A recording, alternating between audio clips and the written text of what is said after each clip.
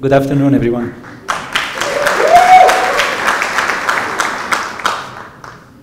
I'm going to take you back to the morning because uh, when I wake up in the morning, I usually take two pieces of soft bread, put them in the grill, set grill for like a minute or so until they become slightly brown. Then I lay a turkey and cheese on one piece and spread butter and jam on the other one.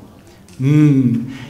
As much as I enjoy my morning breakfast and eating my morning sandwiches, the thing that I enjoy even more is the smell of the grilled bread. I bet that some of you, if not all, look for a scent to wake up in the morning. It could be the smell of the grilled bread, again, like me, or any other bakery product like manouche, or even the smell of roasted coffee, milk, or eggs. All these flavors, they have one thing in common. Mostly, they are originated from the interaction of proteins and sugars contained in these food. Rest assured, I'm not here to talk about food, nor to give you a cooking lesson. I'm far from being a chef. But I'm to talk to you about a great chef, the human body. Yes, the human body is a great chef. It does not only digest the food that you eat, but also it generates most of the molecules that you need. Take, for example, carbs, and particularly glucose, which is the simplest sugar molecule. Whenever you are not eating, or when you proceed, sorry, whenever you are not eating, or when you proceed to um, have a, a carbs free diet, this is where your blood glucose levels will decrease. Or the brain relies entirely on glucose in order to generate energy and to function. So your body will react automatically to this drop in glucose levels and will start producing glucose in the liver, eventually delivering glucose to the blood.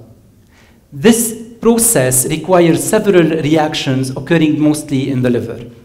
Similar to the synthesis of glucose, your body is able to produce many molecules that it needs through thousands of reactions. These reactions are driven by efficient workers, the enzymes, which are able to forward and reverse these processes. This is why we consider these reactions of being reversible. It's like building a puzzle. You will start collecting your pieces and putting them together. Eventually, either you're going to frame the resulting picture or you're going to dismantle the pieces and put them back in the box. So these reactions are considered to be reversible, but on the other hand, some reactions, they proceed in an unfavorable manner, and eventually they are not controlled by the body and not driven by the enzymes. Again, among these irreversible reactions, one is particularly important, the unplanned binding of a sugar to a protein. This reaction is similar to the reaction occurring in my morning bread and it is called the Maillard reaction or glycation. This reaction is considered to be irreversible. It's a one-way reaction. We compare usually irreversible reactions to baking. You mix together flour, eggs, milk, and sugar, and then you bake them in order to form the cake. But this cake cannot be converted back to its ingredients. Therefore, irreversible reactions cannot be undone. And in most of the cases, they can cause diseases and problems.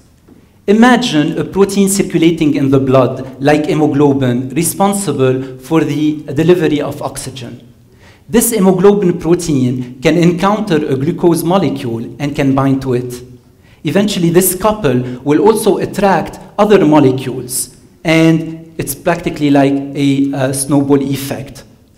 This will lead to what we call the Advanced Glycation End Products, or AGEs. This is a meaningful acronym because AGEs, they do accumulate with age.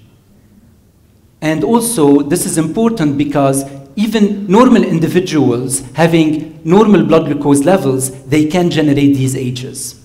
Furthermore, AGEs, they also affect nearly every molecule in your body and every type of cell this, these small units, living units constituting the body.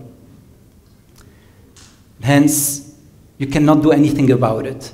and your body seems helpless. Moreover, AGEs are known to be one major factor in aging. Also, they can lead to several diseases like atherosclerosis, Parkinson's disease, and cancer, just to name a few. But is glycation, this irreversible process, really irreversible? Recently, a group of researchers, including myself, showed that this glycation can be undone. In fact, a chaperone called DJ1 is able to reverse glycation, separating the sugar molecule from the protein.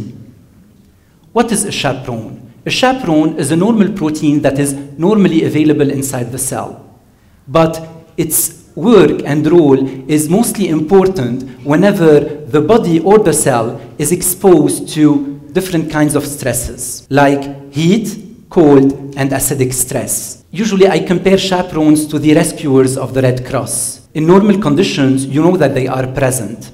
You can even see them, like whenever there is a car accident on the highway, or when your neighbor is really sick and needs to be transported to the hospital. Nonetheless, their role and their number are significantly increased, especially in abnormal conditions, like, for example, during the war.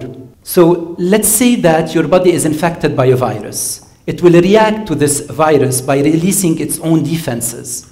This will lead to an increase in uh, body temperature because we have an inflammation occurring.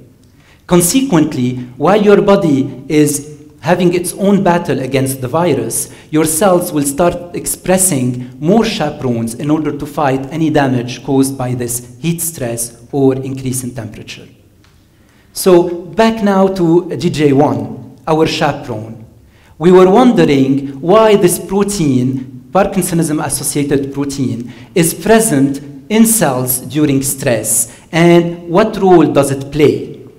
until we discovered its deglycase activity. So we were able to show that DJ1 is able to dissociate a sugar molecule from a protein and proceed with the deglycation. Consequently, when DJ1 is overexpressed, the AGEs will occur less or even will, could be avoided. And all the diseases that I enumerated earlier on related to glycated proteins can be minimized. Furthermore, we showed that DJ1 does not only act on glycated proteins or on the protein sugar couple, but also on glycated nucleic acids like the DNA. You know that the DNA is the most important molecule that we have inside the cell.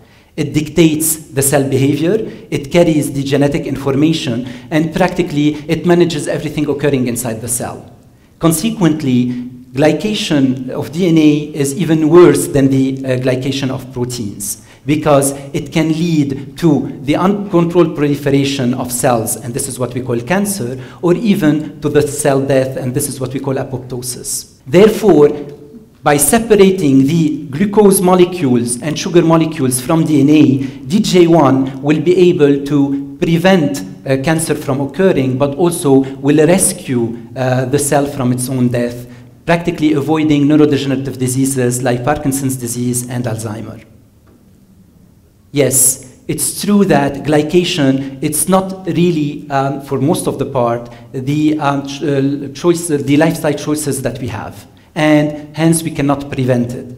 You can play it smart trying to avoid carbs from your diet. This may lead to the decrease of glucose that is stored in your body, or even for fat that is produced from glucose. But it will not lead to the decrease of glucose circulating in your blood and delivered to the different cells. Therefore, the body, your body, this great chef, will continue to produce glucose and all the different molecules that it needs. It will continue to run its reactions, it will continue to cook. Nonetheless, DJ1, our chaperone, will be present to protect the body from glycation reactions, from the damages that, that are caused by sweet proteins and sweet DNA. It will be able to reverse back cooking and mostly decompose the cake back to its ingredients DJ1 is able to change what is irreversible to reversible. our discovery